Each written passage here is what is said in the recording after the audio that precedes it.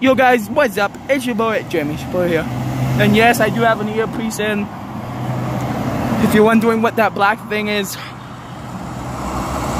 But that's not what I'm here to talk to you guys about.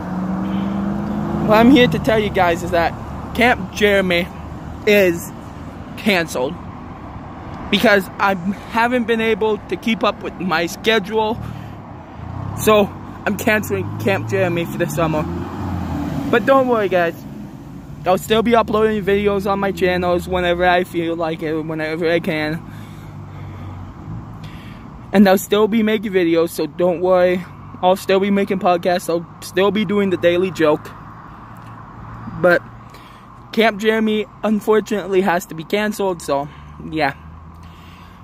And this is the last time you guys will see me with these glasses because I'm getting some new glasses, so that's some exciting news. But yeah, unfortunately, Camp, Jeremy has to be canceled. So I'm sorry. Bye. Peace out. See you next time.